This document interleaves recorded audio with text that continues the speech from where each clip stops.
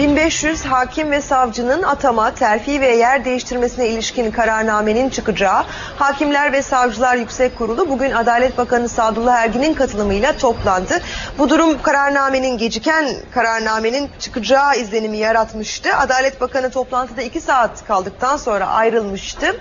Gökhan Gerçek bu e, toplantıyı izliyor. Gökhan e, duruşmaya öyle duruşma diyorum özür diliyorum. Bu toplantıya öğleden sonra Adalet Bakanı yeniden katılacak mı?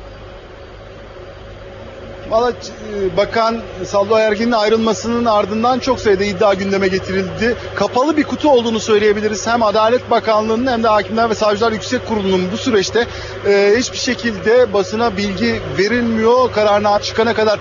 Dediğim gibi sabah saatlerinde saat 11'de başladı toplantı. Adalet Bakanı gelmişti. Kriz çözüldü dedik. Kararname bugün çıkacak dedik. Ancak iki saat kaldıktan sonra Sadullah Ergin toplantıdan ayrıldı ve çalışmalarını sürdürmek üzere bakanlığa geçti. Adalet Bakanlığı'ndaki çalışmalarına devam ediyor. Sadullah Ergin'in öğleden sonraki to, e, toplantının öğleden sonraki bölümüne katılacağı da iddia ediliyor. Ancak bu iddia dediğim gibi e, bakanlık kaynakları tarafından henüz doğrulanabilmiş değil.